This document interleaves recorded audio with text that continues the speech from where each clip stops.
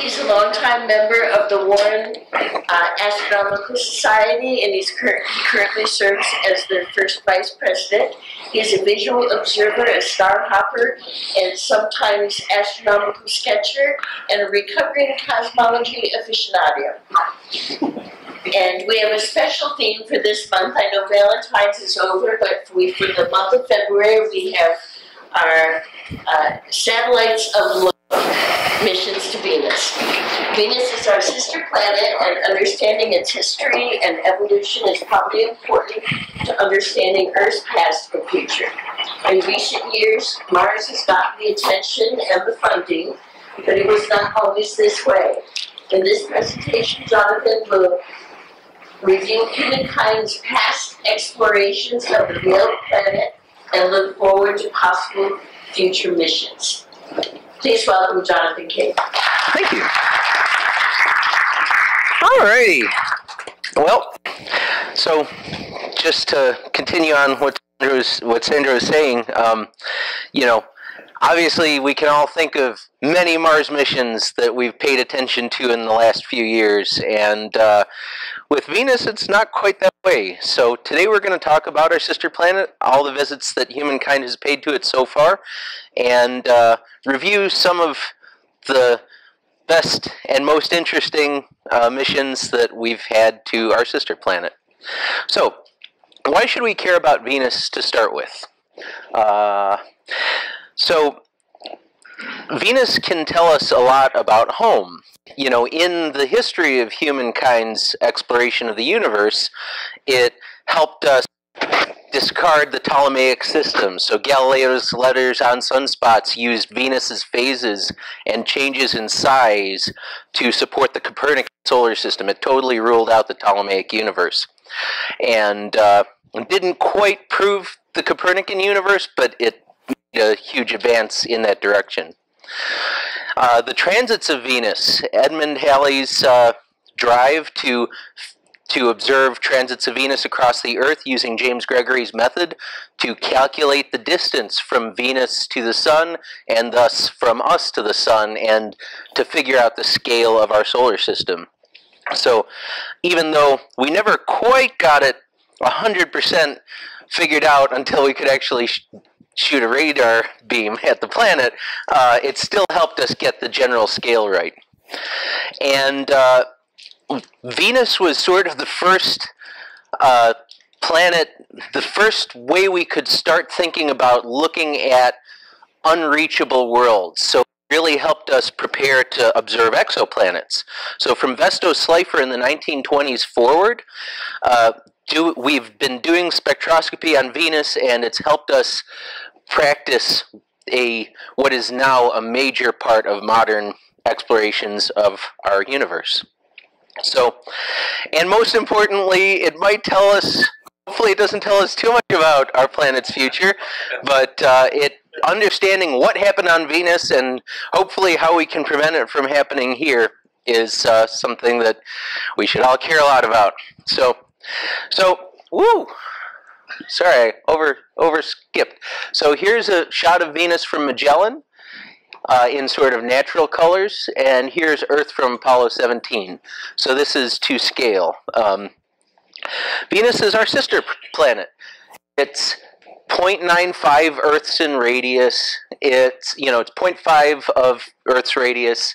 It's 0.9 Earths in surface area. It's 0.7 Earths in volume, 0.82 Earths in mass, and it has a surface gravity very close to Earth's, 90% of Earth's gravity. One area where it's really different is the surface temperature of 864 degrees Fahrenheit. Uh, and the more we start to look at the actual atmosphere of the planet, the less like Earth it starts to look. So so this is a shot from the great Pioneer Venus orbiter, probably the most successful spacecraft ever to go to Venus.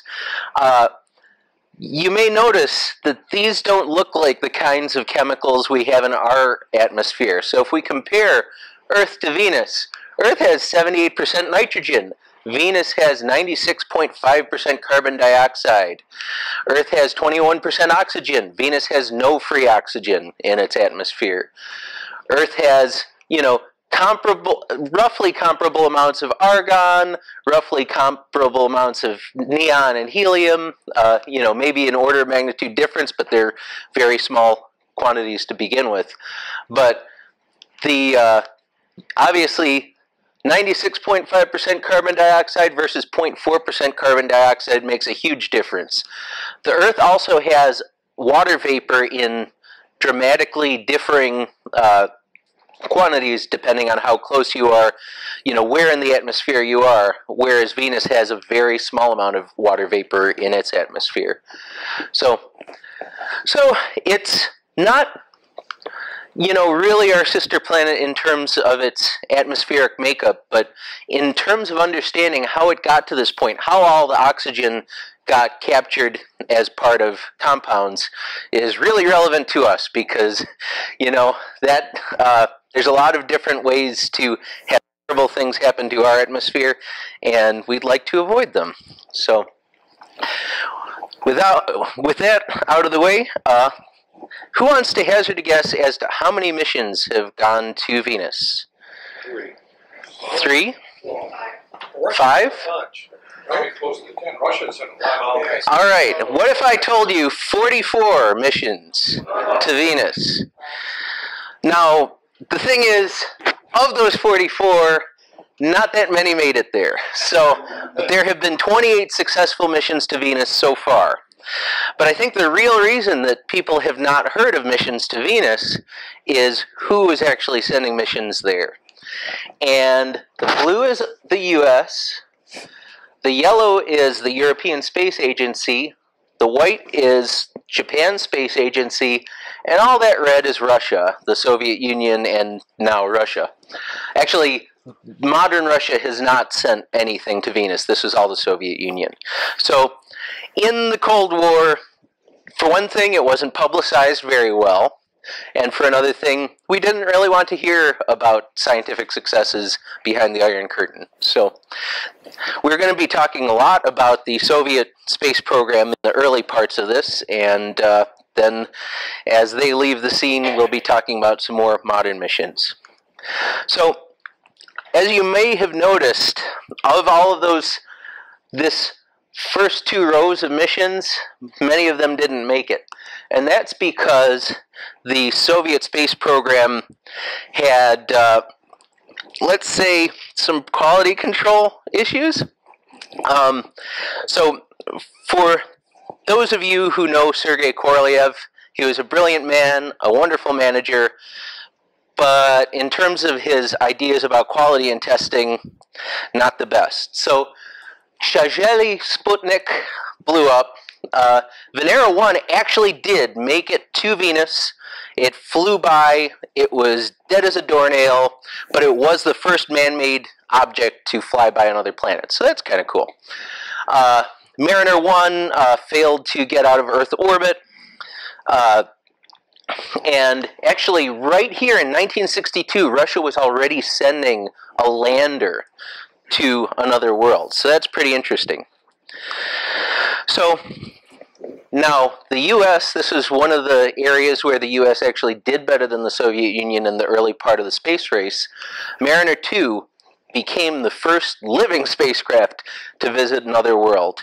So one of the most interesting observations that Mariner 2 took as it flew by on August 2nd, August 27th, 1962, 21,000 miles away, uh, it recorded the temperature on Venus for the first time. So it determined that the atmosphere was about 500 degrees Celsius, 900 degrees Fahrenheit. So the Russians did keep trying. They really, really wanted to get places. And so, despite the lack of a successful flyby, they started sending landers in earnest. So, Zond 1 here uh, had uh, actually made it to Venus. Venera 2 made it to Venus. Venera 3 made it to Venus, dropped a lander into the atmosphere, but as soon as it got into the atmosphere, it died and crash landed. So, and you'll see this Cosmos here. Mostly we're going to be talking about Venera landers. That's the, the Russian word for Venus. Uh, but Cosmos is what they called, well, you'll see in a second. So this is Sergei Korolev. Uh, he uh, was encouraged by his higher ups to spend his time actually getting cosmonauts uh, into interesting things in orbit, maybe to the moon, uh, and they thought that him splitting his focus between the crewed missions and the unmanned missions was undermining his ability to get either of them right. So the historical record is kind of hazy on whether he handpicked a successor or the Central Committee of the Politburo uh, successor, but this entire program was transferred into the Lavochkin, which is still around today, as is Sergei Korolev's group. Uh, the Opitnoye Konstrukcio Konstruktsovie Bureau. Um, so, uh, so there, uh, if you hear about Energia, which is Russia's leading uh, leading spacecraft uh, concern, that's still Sergei Korolev's outfit, and it's actually they even put his name on it now. So, once, uh, so when the Lavochkin group took over this program, they they took it over for uh, Venera 3 and Cosmos 96. Uh, they started doing testing on Earth, which was something that Korolev was totally against. He only wanted to do bench testing for crewed missions, and even then he really didn't want to do any testing until you had the whole rocket ready to go. Um, so they did a bench test with a with the early version of Venera 4, and they found out that it conked out at less than half of the g-forces that it was supposed to be able to handle. So that was probably the reason so many of the early ones died. So once the Lavochkin Bureau takes over, they actually start having successes. So Venera 4 actually succeeded in measuring the starting to take detailed chemical readings of the Venusian atmosphere. It was the first successful in situ study of another planet done by humankind. Um, it also proved that there was it, there could not be liquid water on the surface of Venus. So Mariner 5 on its way, uh, so basically Mariner 4 was a Mars probe.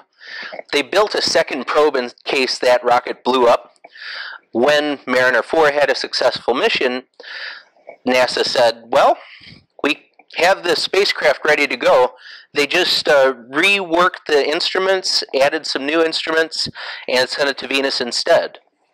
So, so it uh, provided detailed information about the planet's atmospheric pressure, so it measured it to be about uh, 75 to 100 Earth atmospheres, and measured an exact temperature.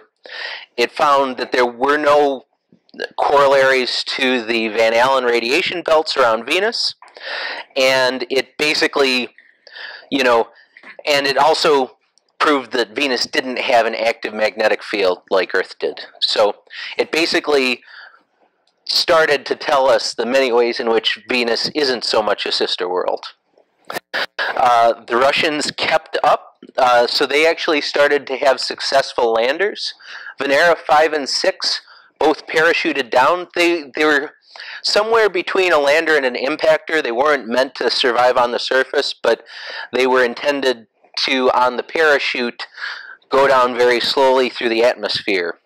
So each of these craft survived for 50, around 50 minutes in the Venusian atmosphere. Uh, they had photometers. Uh, well, Venera 5 successfully managed to see how much sunlight was getting through to each layer of the atmosphere. Venera 6, the door on the photometer never opened, so they had a lot of problems like that. Uh, the spacecraft also carried the state coat of arms of the USSR and a bas relief of Vladimir Lenin to the surface. So, uh, and then they melted. Um, so these were successes, not complete successes, but still uh, managed to do some, you know, ranging to the ground. Uh, and then we get a complete success. So Venera 7, uh, it actually landed. It took readings from the surface. The only problem it had was that, sort of like the Philae lander from uh, the ESA's recent mission to our asteroid, uh, it landed and then it rolled on its side and then it had a hard time transmitting back to Earth. But uh, it did measure the exact surface temperature, which earlier we had only really known sort of the middle uh, atmosphere temperature. So Venera 8, same design. It uh, had everything worked correctly this time. So they got to uh, they got precise measurements of illumination at different levels in the atmosphere. It uh, landed in sunlight about 500 kilometers from the terminator, and uh, it sent back data from the surface for 50 minutes before it melted. So, uh, and it also, what was really important about this lander was that it confirmed all of the previous, because there had still been uncertainty about all the previous measurements from the earlier craft.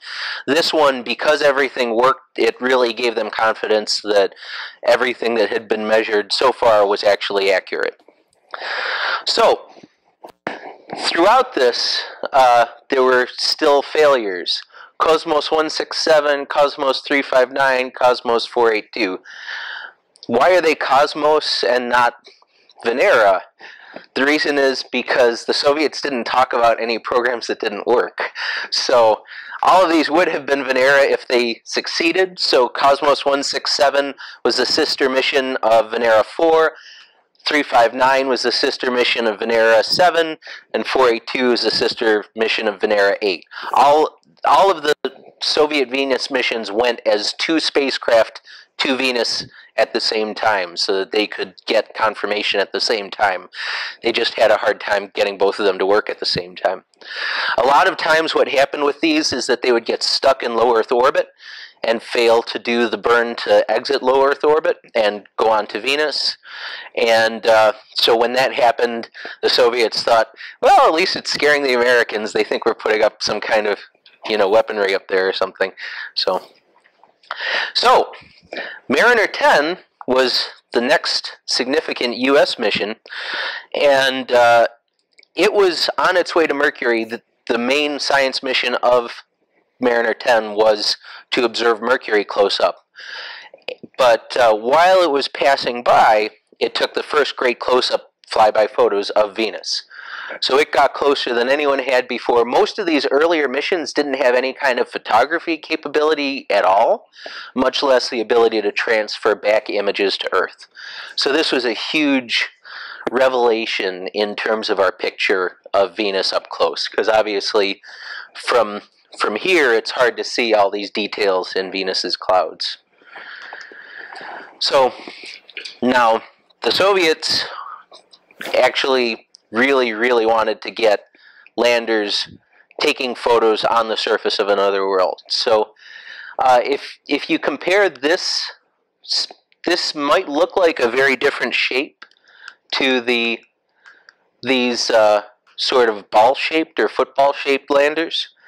But you'll see, if you look closely, that that kind of sphere is still here. They just add more and more parts to it they increase the antenna, they, they build bigger antennas, they build more uh, equipment into the sides of it, but fundamentally, it's still the same design. They also made sure it didn't tip over. Um, so, Venera 9 and Venera 10 both successfully land, both successfully take photos. So these are actual photos from the surface of Venus. So, so this is uh, October 10th, 1975, uh, October 22nd, October 25th. So they landed nearby one another. They took photos. But these photos, you know, they're fairly detailed. A lot of people have, don't even know that photos of the surface of Venus from the surface of Venus exist. Uh, but it turns out there was raw data from these spacecraft that had never been processed using modern technologies. And an amateur sort of scientific historian named Don P. Mitchell, whose website is mentallandscape.com, took was able to use his contacts in the former Soviet space program to get the raw data and reprocess it. So he got this garbled view up here. He figured out that these are actually the result of bit encoding errors, fixed the errors, and was able to produce a much clearer view. So, so this is this this top one is the the one that was published. The bottom one is the reprocessed one. So it's almost like high definition by comparison. Similarly, the Venera 10 raw data has all these interference bands, but there's really data here. It just got shunted over in the data stream that came back. So this one really looks like it's really night and day from what was er, published publicly earlier. So, uh, and his website is just of amazing stuff. So I, if you're interested in going deeper in this, this is how I got into this subject in the first place. Is I found his website and I said I never knew any of this happened. So, all right. So now we are ready for the first detailed global map of Venus. So, Pioneer Venus Orbiter went into orbit around Venus in 1978. Does anyone know when it finally died? 1992. So, so this was the longest lived mission to ever be operating at Venus, and uh, did tremendous work for you know well over well over about 15 years. So map from the Flat Venus Society? yes. So uh, one thing to notice is that all, for whatever reason, uh, a lot of the features on Venus are named after Venus. So you have like the continents on Venus. You have Aphrodite Terra. Aphrodite is Venus. You have Ishtar Terra. Ishtar is Venus. So it's kind of an interesting naming system. I don't think you see that. You don't see Ares Planitia on Mars, but I don't know. So uh, at the same time that the Pioneer orbit Venus orbiter went into orbit, we also launched our first, and I think only ever, uh, Venus lander. So the Pioneer Venus, the Pioneer Venus uh, multi multi probe. You know, we didn't go for half steps. Once we decided to have landers, we figured we might as well have five landers all launched at the same time. Um, so basically, there was a bus here and the bus worked a lot like the LADEE mission to the moon, where the bus uh, or uh, Juno, I think, is going to work with Jupiter, where the bus kind of slowly entered Venus's atmosphere, and the the goal was to measure things as it died. Um, but then it had these four probes, and there was one big probe uh, that they so basically they tried to they tried to put these probes in interesting places. So there was one big central probe that went to the day side of the terminator, right at the terminator. There was a north terminator probe that went into the night side of the terminator. Then there was a day small probe and a night small probe that went respectively well into the day of Venus and the night side of Venus. So all of these had a whole bunch of sensors on it. Uh, the bus itself did ion mass and neutral mass spectroscopy. Um, the day probe, you would think that the day side of Venus would be the least hospitable, but the day probe actually survived, even though none of these were meant to survive on the surface, the day probe survived on the surface and transmitted data back for almost an hour. Um, so basically, we they they answered a lot of questions. So it wasn't known like how different are the temperatures between the day side and the night side what are the winds like around the terminator where you might have a big temperature shift so what they found out is that between the day side and the night side uh, there's only a 10 degree Celsius difference. So, or a 20 degree Fahrenheit difference. So basically, it's almost a constant temperature all over the planet. Uh, the ground pressure is around, uh, depending on where you were on the planet, between 86 atmospheres and 95 atmospheres. So, an unpleasant place to be, besides the whole sulfuric acid uh, atmosphere around you. Uh, they identified three distinct cloud layers, all with different characteristics. And uh, they discovered that the ratio of different isotopes of argon in the atmosphere was way different than Earth's. So that told them that maybe the similarities between Venus and Earth's history were less than we initially thought.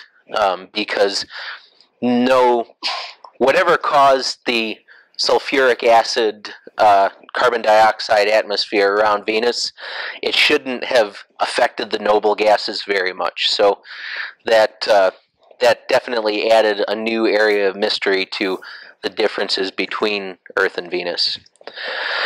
So, um, they also determined that in the middle layer of the three cloud layers, the wind averaged 200 meters per second. So, very fast winds in the middle layer. At the base of the middle layer, at the transition between the middle layer and the lower layer, it was only 50 meters per second, still pretty fast. But on the ground, there's no wind. It's, uh, well, one meter per second. So it's a nice breeze. So that really challenged people's ideas about how Venus's atmosphere worked. Now, Russia continued to send probes there.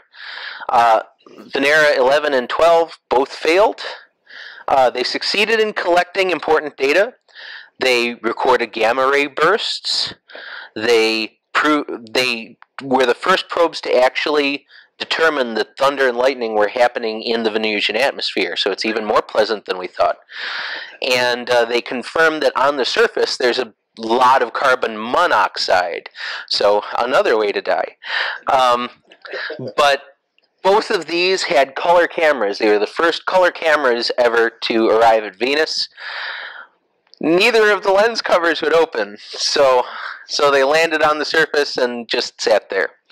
So, however, Venera 13 and 14 were almost uh, identical in design. So this is actually at the Udvar-Hazy Center, I think. Um, and uh, they successfully landed. So this is another reconstruction from Don Mitchell. Uh, so, like, I don't. Did who knew that we had pictures from Venus's surface that looked like this? Like, like that's a pretty awesome picture. So, um, and uh, we do have color, although the high res is uh, all black and white. But we do this is real color this is natural color uh, from the surface of venus. So venera 13 and then about a week and a half later venera 14 uh, was able to get these color photos from the surface of venus and send them back.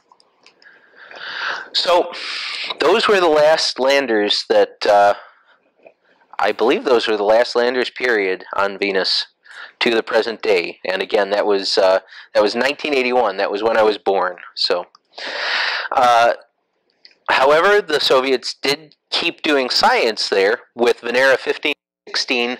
You might see this gigantic radar dish here. Um, they actually were the first probes to do a high resolution mapping of the surface of Venus. So you can see the the detail here is not like anything that we saw in any of the earlier shots. So they mapped about 30% of the surface of Venus. Uh, both of them were in roughly polar orbits. Um, and uh, I would have thought they would have gotten more than that, but I don't know how long they actually survived in orbit. So the last successful last Russian missions of any kind to Venus were the Vega craft. Uh, and this photo is from the Udvar-Hazy Center in Washington, D.C. So, does anyone. So, we went from Venera to Vega. So, so the VE actually comes from Venera does anyone want to guess what the GA comes from? It's 1984. So, well, so it is a person's name. So, uh, in the in the Cyrillic alphabet, there isn't a letter for that translates to H. So when they say Edmund Halley, they say Edmund Galley. And so this is G A L L E Y. Uh, so this is the Venera Halley uh, probe. And so this was actually a super complex probe. What it did was it dropped a lander onto the surface, it dropped a balloon that drifted freely through Venus's atmosphere, and then it had an actual orbital craft that continued on and successfully rendezvoused with Halley's Comet in 1986. So both of these missions were total successes. Um, everything worked right. The landers landed, uh, collected actually some very uh, technical data uh, that nobody really seems to be able to tell me what it is. Um, uh, some, uh, I will say that uh, Vega 1 had some issues where it got buffeted around by the clouds and that triggered it into thinking that it had landed. So it uh, turned on a bunch of its surface instruments 20 kilometers above the surface. And so it didn't collect everything that it was trying to. But it was really cool that the two uh, the two weather balloons that we put into Venus's atmosphere, while they were alive, they actually traversed 30% of the circumference of the planet each. So imagine, you know, imagine a, a balloon in our atmosphere going from New York all the way into China. So it's uh, it was a pretty cool achievement. And so they were at the bottom of sort of the transition between the top layer and the middle layer. Where so the top layer of Venus's clouds is actually very cool compared to the rest of the planet's atmosphere. So uh, we'll talk a little bit about the future, but uh, the top layer is where we might want to explore more in the future. So finally, the U.S.'s marquee mission. So I don't know if you got the chance to look at this Venus globe here, but uh, this is all Magellan data taken starting in 1989. And uh, Magellan was an amazing high definition radar mapping system. And uh, for the first three years that Magellan was at Venus, it was actually able to coordinate with the Pioneer Venus orbiter so that they could observe together. And so it was uh, really awesome that this that that craft managed to live so long that it was able to actually work with a new orbiter. Magellan was able to take a high resolution map of 98% of the surface. I don't know if you turn this globe around at all, but the only part that it didn't get to map is down here at the South Pole. You'll see some empty space, but uh, still, 98% is pretty decent. And it got a high resolution gravity map of 94% of the planet. It uh, so this is this is that same map in the Flat Earth Society version. Um, and you can see how the South Pole is kind of just a slur of pixels. Yeah, exactly. There's dragons everywhere. Um, and uh, what was really cool was that with the gravity map, we were able to create a three dimensional model of Venus, which is something that, you know, we might not have expected to be able to do. So you can actually, unfortunately, there used to be. Uh, it used to be available some flyovers where you could fly over Venus and see some of the mountains on the surface. Uh, I wasn't able to find that anymore, so that used to be downloadable from NASA's site. But uh, nevertheless, it's uh, you know there's a lot of amazing sort of post-processed views of what it would look like on the surface. Yes, sir.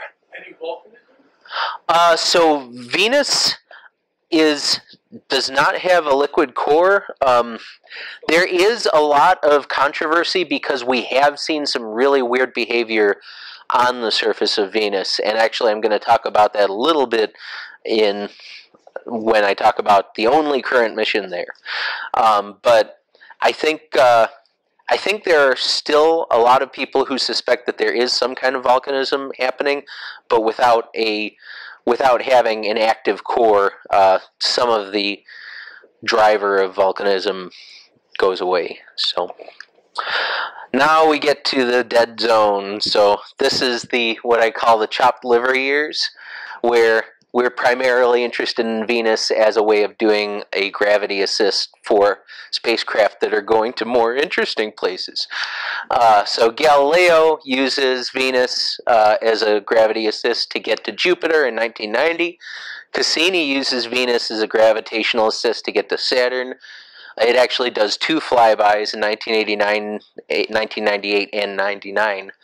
And then Messenger, on its way to Mercury, uh, does two flybys as well. So um, at least Messenger looked at the planet when it drove by, is all I'm saying. Um, but they, none of these missions did any serious science on Venus.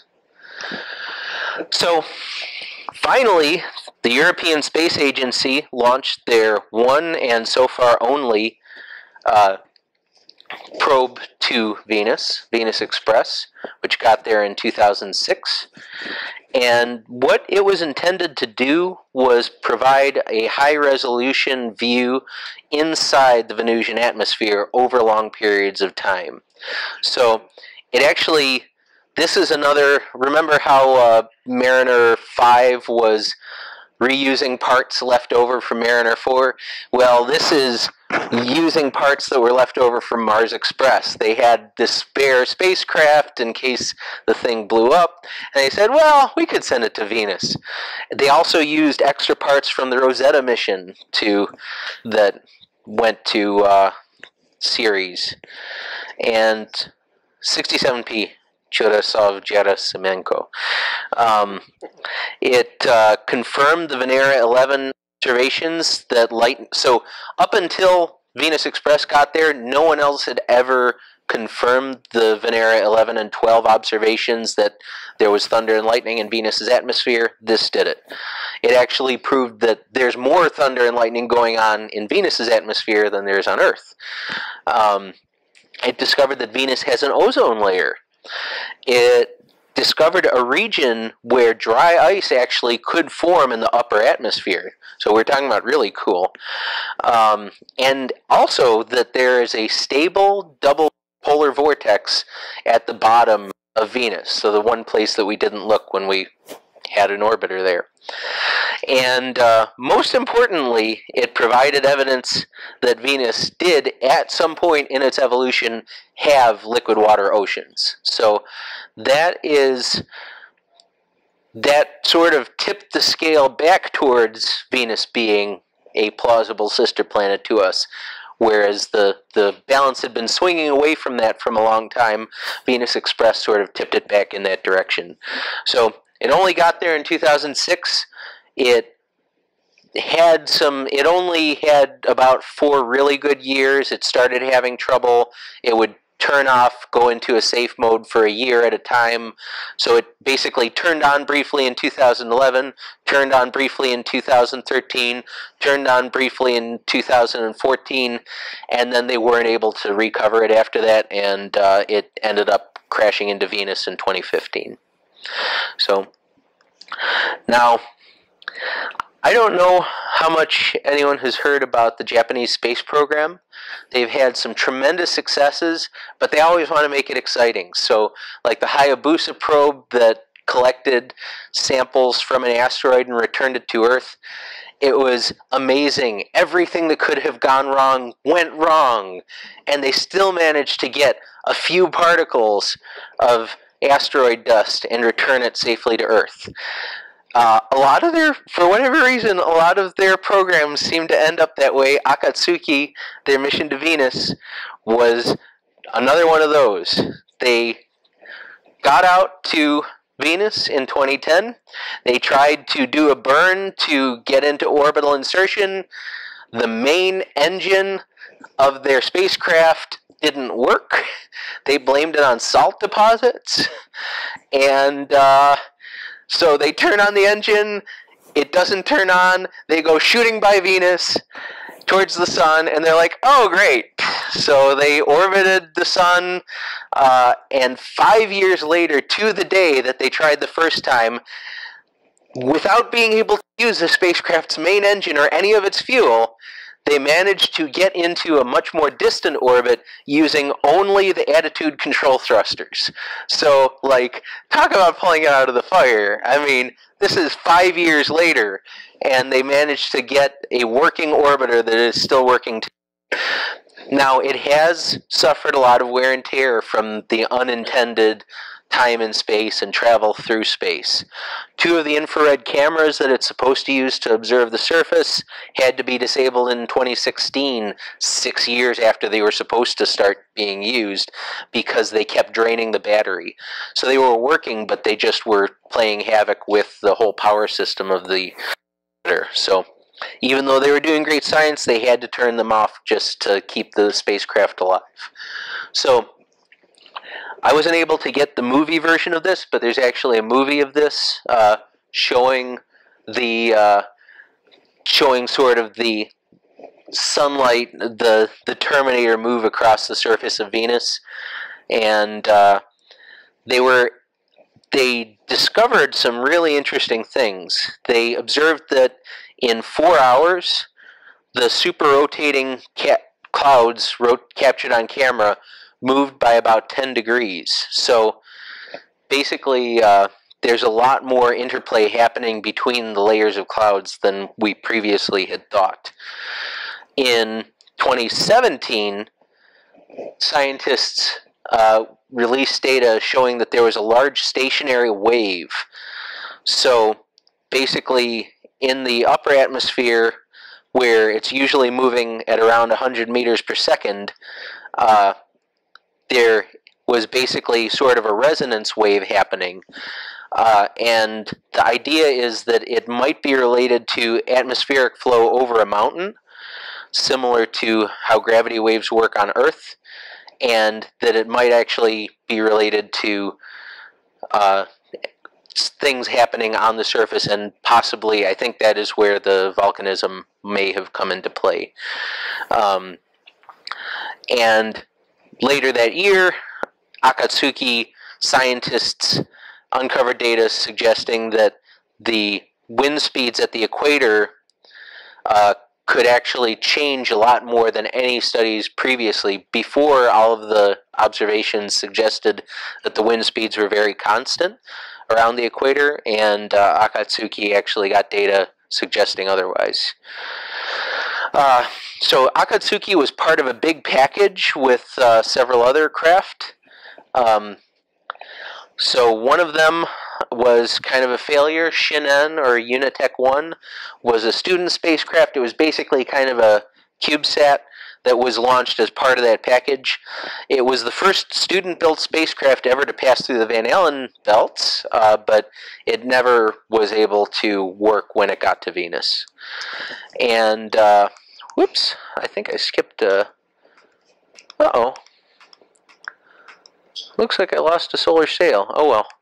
So there was also an IKAROS uh, solar sail that went out with Akatsuki, and uh, it was the first interplanetary solar sail. I missed that slide. It was a pretty... Um, so it, it wasn't able to collect a ton of data, but it did successfully uh, it did prove that a solar sail could work in interplanetary space, and it did collect some interesting data. Um, so now we're back into the chopped liver years. Uh, the Parker Solar Probe. I don't know if anyone heard about this, but the Parker Solar Probe actually did a gravitational assist flyby of Venus in October. Uh, it has six more to do, and to that I say, Venus, it's just using you. Um, so, literally, this is the only picture the Parker Solar Probe has taken yet. There's the Milky Way, that's cool. There's this bright shining light in the darkness. That's not Venus, that's Earth. Like, it couldn't even look at Venus when it went by. It's just very disappointing. So, also, uh, Bepi Colombo, I don't know if you've heard about this. This launched uh, last year as well. It's on its way. It's the new Mercury probe, but launched by the ESA. Uh, so it's also going to use Venus as a gravitational assist. And it's not fair to call this a chopped liver uh, mission. It actually does have a lot of observations that it's going to do on its two flybys of Venus in 2020 and 2021. But this is the only thing besides Akatsuki that's out there in space that is going to look at Venus. So from there on, uh, we're in the realm of hypothetical. India has had a lot of success with its Chandrayaan 1 moon mission and its Mangalyaan 1 Mars mission. Uh, now it has its sights set on Venus. Shukrayaan 1 is supposed to launch at 2023. There aren't any actual mock-ups of it. I can't really find any evidence that it's truly funded, so I don't know if this is going to make it, but it's got a cool logo at least. Um, and uh, Russia is working on Venera D. This is the first since the fall of the Soviet Union, this is the first Russian Venus mission. Uh, whether or not this has been funded, this has been in the Roscosmos budget for 10 years now. Still hasn't really gotten anywhere. Supposedly, they're targeting a 2026 launch. I'm not really holding my breath on it. This is actually, so we've been talking about craft that were meant to go to more interesting places being re, you know, the extra parts being used for Venus missions. The, this was built out of the extra parts of Phobos Grunt, the mission to Mars's moon Phobos that unfortunately failed. So there's always the possibility that they'll try to salvage it for another go at Phobos. So, what comes next? So those those two programs are the only programs that have any kind of funding at all associated with them for Venus study. So what comes next? Uh, what's really interesting is, uh, as Detroiters, the only research that NASA is doing into going back to Venus is happening in Sandusky, Ohio, at the John Glenn Research Center. So this is a special testing chamber called GEAR, the Glenn Extreme Environments Rig, uh, down down there in Sandusky, and uh, in 2017, July 13th, 2017, they were able to build a computer that worked in pseudo Venus atmosphere for more than 80 days. It more doubled the previous record of 42 days. So it's uh, the Glenn Research Center is basically the only group of people in the U.S. who are really still fighting for Venus. So they have some really awesome plans. They want to have a cloud top drone. Unfortunately, this rendering is from like 2010, uh, which tells you how fast this is moving. And they've also been working on some plans for a land sailing rover that is just going to sort of let the wind blow it around the surface. So some really neat ideas, nothing that's funded. They try to get stuff in all the time. I'll tell you one funny thing. So uh, if we go all the way back to those balloon orbiters, this photo taken and uploaded to uh, Wikipedia was taken by the director of Venus research at the Glenn Research Center. So he's he's really a geek like us. So um, so that is the state of things today. So I'm going to play this video. I don't know if I can do it here. So this is, uh, that is a very low resolution 3D model of Venus as taken by the Magellan mission back in 1989. So that's it for me. I'm sorry. Different color represents what? Oh well, this is this is like true color. This is like if you took Venus and removed the uh, yes on on this map, uh, so the the false color on this uh, you can't really see, but it's rainbow colored. Um, this basically represents different chemicals on the surface. So, super colorful version that we looked at earlier is the same as this. All right, any questions? Are you into the uh, the Cosmos 482? I'm sorry, say that again. If it Yes. made it, it's supposed to fall back into Earth orbit and crash into the planet this year. Awesome! I did not know that. The news this morning. That's uh, interesting because at least it didn't have nuclear power. I don't think so. That that was my question. How many of you have nuclear power? I I don't think any of these did. Um, and actually, one of the other cool things that Glenn is working on is actually like a steam boiler, um, which is you know if you have if you got the uh, atmosphere for it, why not? Um, yes, sir. What do we know about the composition of the soils and the rocks? Uh, we know a fair amount, um, but obviously having an actual lander that could dig around in it would help more. Um, so It's hot enough With- to melt lead and what could be there. Um, so I don't have the chemical composition. We do know the barest. Uh, we we know sort of what the chemical compositions of the surface are. Uh, we know that Venus is substantially less dense than Earth, but not.